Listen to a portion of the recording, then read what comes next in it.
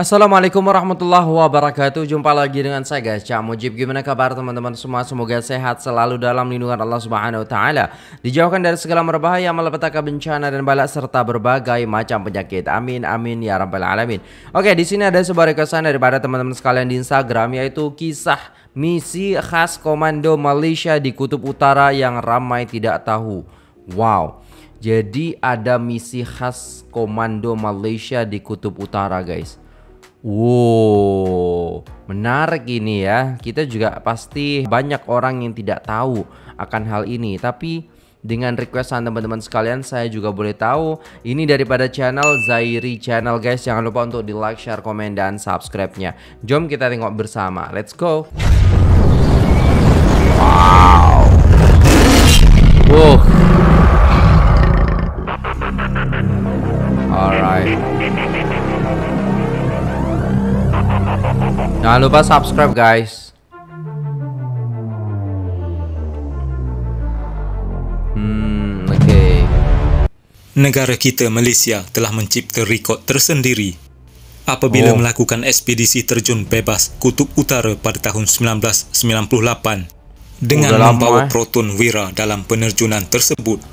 Oh, Oh, pakai Proton Wira, guys. Ekspedisi tersebut berjaya mencipta rekod di Asia kerana rakyat Malaysia merupakan penerjun pertama dari negara beriklim wow. tropika yang menjejakkan kaki ke kutub utara.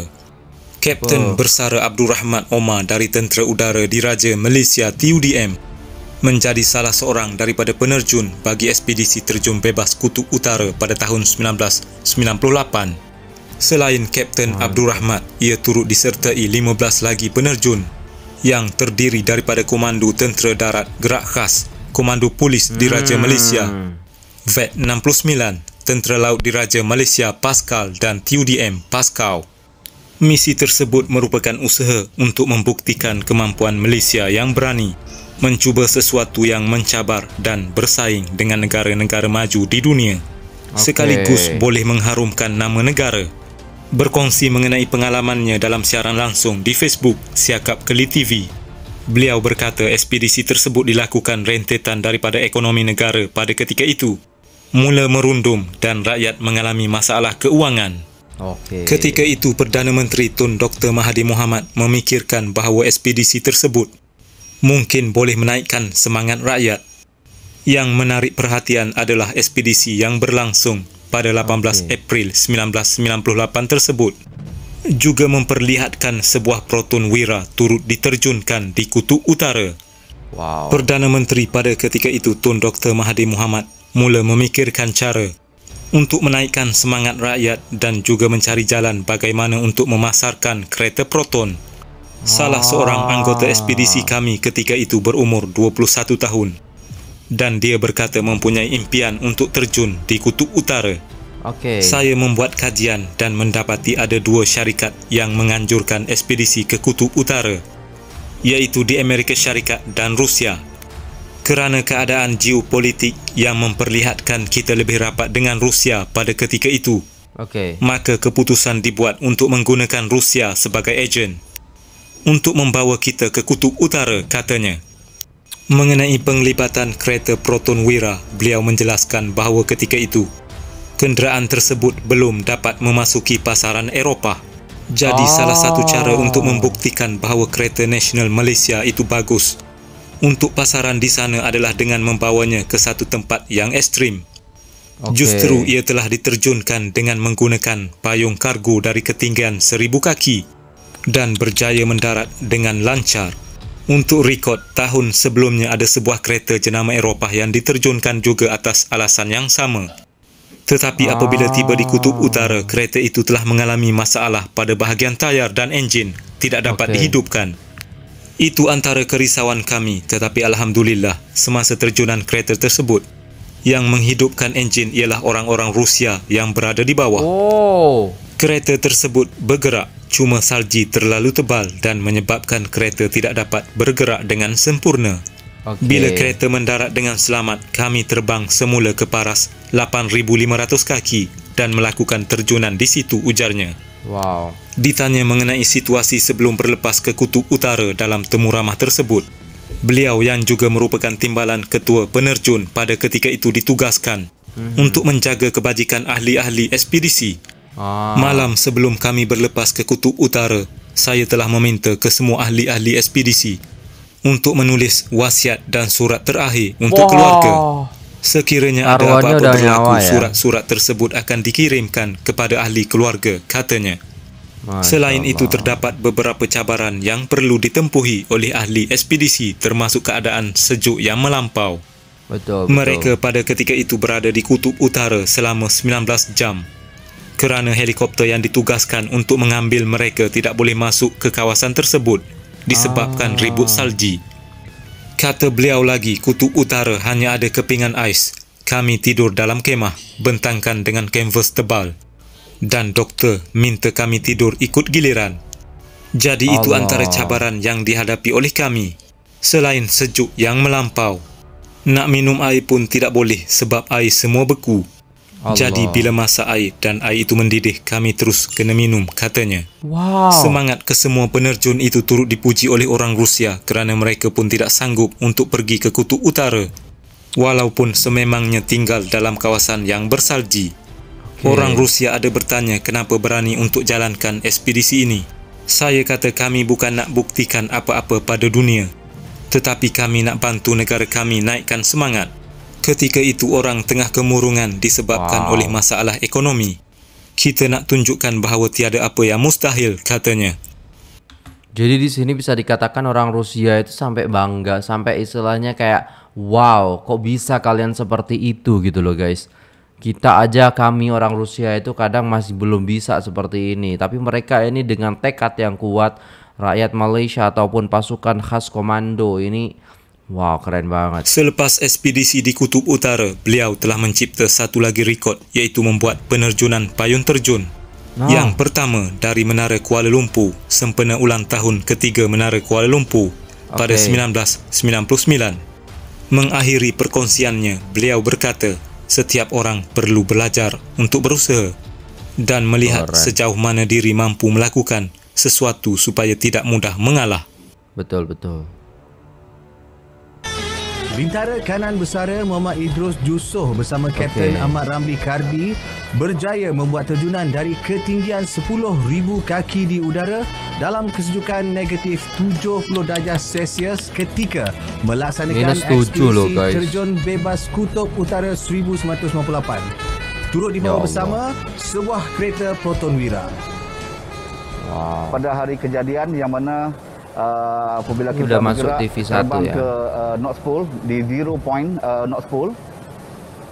Apabila di ketinggian 3000 meter daripada paras bumi dengan uh, uh, suhu uh, di atas uh, uh, minus 70 di bawah paras uh, paras minus 70 minus 70 oh! Saya kira minus 7 tapi minus 70 guys.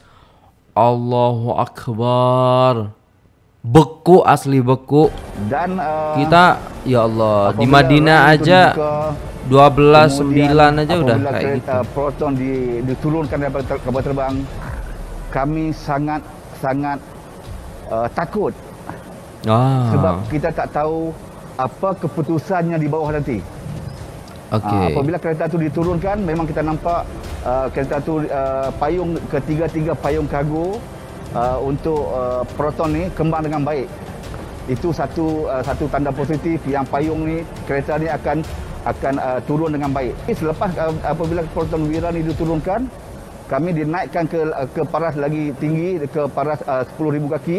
Aha. Dan kami pun keluar daripada uh, pesawat yang mana uh, satu cabaran lagi satu uh, untuk keluar daripada pesawat. Yang mana kelajuan pesawat adalah lebih kurang uh, dalam uh, 190 knot ke, ke 200 knot yang mana uh, bukan satu kelajuan biasa untuk skydiver. Ah. Rekod dunia sekali lagi dipecahkan bersama empat lagi rakan dalam terjunan wow. kedua sebaik mendarat. Yang mana Mantap. saya bersama dengan Kapten Aziz Inti uh, Sulaiman, uh, Hazam Muzaka dan juga uh, uh, Encik Ramli uh, akan membuat uh, kerjasama di udara. Macam mana benar itu akan berlaku? Kami terpaksa kena gather sebelum buka payung. walaupun kami dah planting berselerak di atas dalam tu tetapi kena, kami kena ogruk balik gather balik Allah. kemudian baru kita bagi syarat kita buka payung baru kita akan dapat buka payung de, uh, uh, berdekatan yang mana akan menyenangkan kita nak nak pin kita punya kawan nanti okay. itulah rekod yang telah kita buat wow dan uh, lagi satu uh, untuk ekspedisi ini juga uh, saya sebagai warga Pascal Pascal bersama-bersama dengan uh, seorang lagi saya punya rakan iaitu Kapten Ahmad Ramli bin Kardi kamilah adalah warga Pascal atau warga TLDM menjadi rakyat uh, Malaysia uh, rakyat Malaysia yang pertama membuat perjunan di Kutub Utara. Jadi terima kasih Keren. kepada Pascal dan juga terima kasih kepada TLDM yang mana telah memilih saya dan Kapten Ahmad Ramli untuk menyertai ekspedisi Kutub Utara, Terjun Bebas Kutub Utara wow. 1998. Ekspedisi Terjun Bebas Kutub Utara 1998 disertai 16 penerjun diketuai Datuk Abdul Rahim Dahalan telah berjaya membawa nama Malaysia ke mata dunia. Wow. Keren banget sih guys.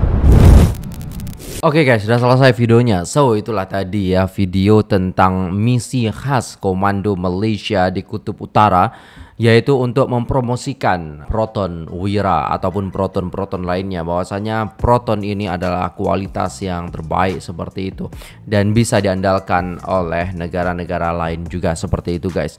Dan Wow, ini pemecah rekor juga guys karena banyak dari Rusia dari negara-negara lain mungkin tidak akan bisa istilahnya mampu ya melawan daripada keganasan ya yang mana dinginnya itu minus 70 derajat Celcius.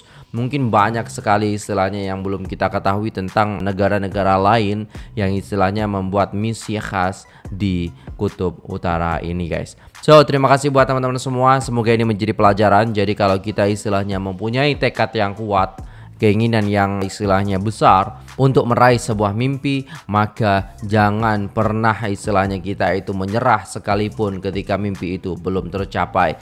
Tapi ketika itu mimpi sudah tercapai, maka bangun mimpi-mimpi kembali sehingga kita lebih semangat lagi dalam menjalani kehidupan ini. Yang terpenting adalah ketika kita hidup di dunia, usahakan dunia kita dapat, akhirat juga kita dapat. Sehingga apa? Ketika kita mati, maka kita juga mendapatkan kebahagiaan ataupun mendapatkan kepuasan yang mana kita mendapatkan sebuah hadiah dari Allah Subhanahu wa taala yaitu surga yaitu kenikmatan daripada surga itu sendiri. Terima kasih guys sudah menonton video ini sampai selesai. Apabila ada salah kata mohon dimaafkan. Buat teman-teman semua yang mau request langsung saja DM di Instagram saya ataupun linknya ditaruh di kolom komentar ya. Sehingga saya juga bisa mendapatkan informasi yang teman-teman sampaikan kepada saya. Terima kasih sampai jumpa di video selanjutnya. Saya pamit undur diri apabila ada salah kata mohon dimaafkan. Assalamualaikum warahmatullahi wabarakatuh.